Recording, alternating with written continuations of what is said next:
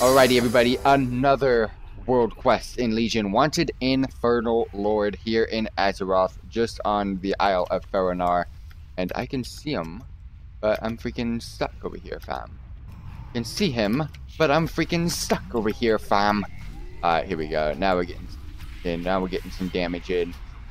And that's about it. It's a pretty easy task to do.